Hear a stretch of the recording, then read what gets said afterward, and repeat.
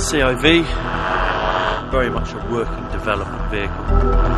You've got the usual controls, you've got ignition, you've got fuel pump, and then we've got heater. That heater there is a fuel heater should we require it.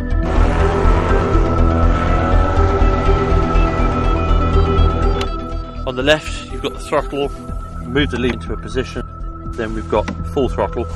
On the other side, we have the pitch of the blades.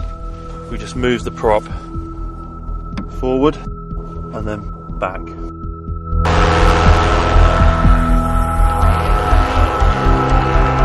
The props basically, they all rotate. If you look, this is a bit like your gearbox on the car, okay? This, we are actually in like fifth gear. We move to here, we're in about first. So we'd start off on about this pitch, and as the speed increased, we'd then move the lever forward and we'd flatten out the blades, giving it coarser pitch.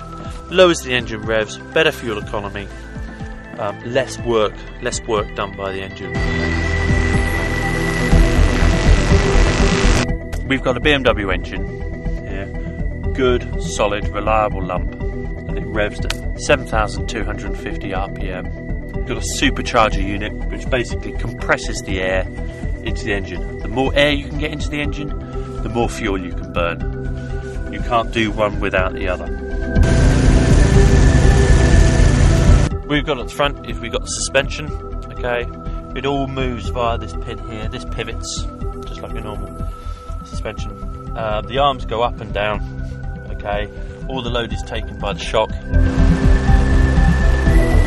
Inside the skis, you have torsion blocks, uh, big, big rubber blocks, in other words, because the skis go up and down. They need some form of resistance and a little bit of lateral movement, and you need something just to take that out of um, out of the ski. The armour plating under is aluminium, riveted and bonded. If there's any cracking, you'll lose components, and they're going straight into the prop, and we're going to get prop strike. Two side arms uh, do take a horrendous amount of load.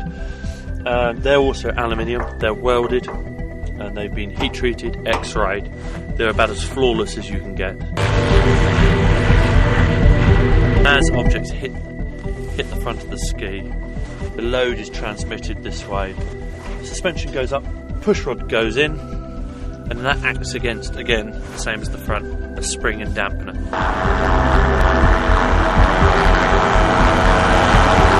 We've got the brake unit at the bottom here.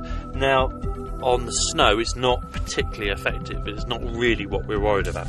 It's actually one region of the pole where we have to go down an ice shelf, and uh, we need some way in stopping. And what this happens is it, this actually deploys downwards, and these are tungsten carbide spikes, and they are sharp, and they'll dig into the ice, and they just slow the machine